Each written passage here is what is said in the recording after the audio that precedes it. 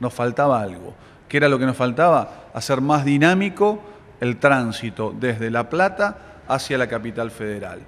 Una creación de la gerencia general de la empresa, Rogelio Barrero, que trabajó arduamente en la planificación de poder levantar uno de los peajes mano hacia Capital Federal, donde teníamos un colapso estructural muy importante y donde eh, el usuario tenía una gran demora, una gran demora para poder ingresar a Capital Federal.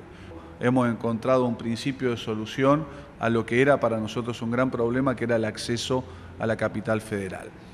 Debo aclarar que solo mano hacia Capital Federal por el momento, este, va a haber un solo peaje en Hudson, vuelta desde Capital hacia la provincia de Buenos Aires o hacia la ciudad de La Plata, para hacerlo más simbólico todavía, mantenemos el sistema tradicional de los dos peajes hasta evaluar de qué manera avanza y progresa esta medida.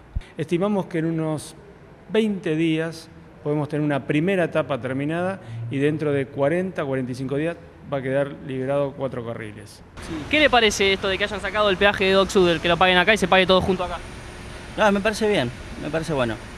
¿Usted viaja mucho por aquí, para la zona? Sí, bastante, bastante. Se pierde seguridad no estar la, la cabina de peaje.